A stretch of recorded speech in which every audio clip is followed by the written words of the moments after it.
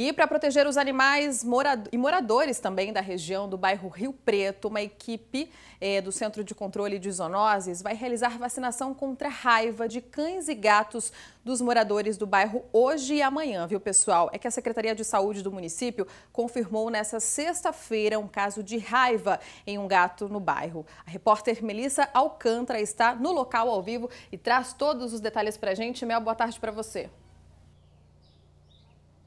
Olá, Jéssica, uma boa tarde para você e para todo mundo que está nos acompanhando agora.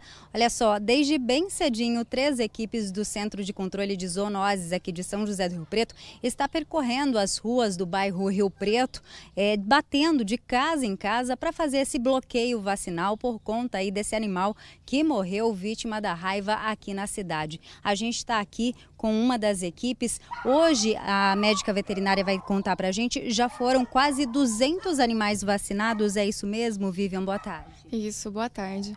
Só nesse período, das 8 da manhã até agora, a gente acredita que a gente conseguiu vacinar cerca de 200 animais, tanto cão quanto gato. E a gente está aqui, ó, vai mostrar um desses animais sendo vacinados. Como é que está sendo essa ação? A gente está passando de casa em casa, orientando os proprietários sobre a importância da vacinação e também orientando sobre os morcegos. Se por um acaso alguém vê algum morcego caído durante o dia, para jogar um balde, jogar um pano, não entrar em contato com esse morcego, ligar para o centro de zoonoses, que a gente vem e recolhe esse animal para fazer pesquisa laboratorial para ver se ele tem o vírus da raiva. E a raiva, ela é perigosa? Fala um pouquinho pra gente. Isso, a raiva é perigosa, ela é um vírus. A gente acredita que quem transmitiu é, a doença para esse felino foi um morcego. Então, por isso que a gente está focando é, bastante no morcego também, orientando bastante a população.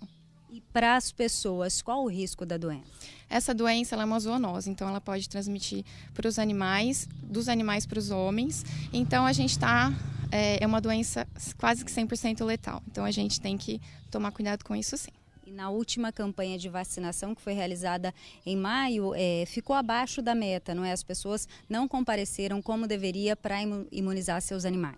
Isso, infelizmente a gente não não conseguiu atingir a meta. Então a gente pede para que os animais que não foram vacinados contra a raiva para procurar uma clínica veterinária e lembrando que o Centro de Controle de Zoonoses fica aberto das 8 da manhã às 5 da tarde durante a semana e é só levar seu animal que a gente vacina ele de graça.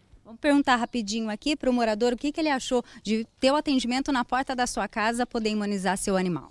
Eu acho muito interessante é, essa campanha de vacinação dos animais ainda na porta de casa bem interessante, bem eficiente isso daí. Tá certo, muito obrigada pela sua participação. E amanhã, como você disse, vai continuar até uma hora da tarde. Então, começa cedinho, até uma hora da tarde. Os moradores aqui do bairro Rio Preto podem ficar preparados para receber as equipes. Jéssica. É isso mesmo, Mel. Além de amor e carinho, a gente também tem que cuidar da saúde dos nossos bichinhos. Obrigada pelas informações, um ótimo trabalho.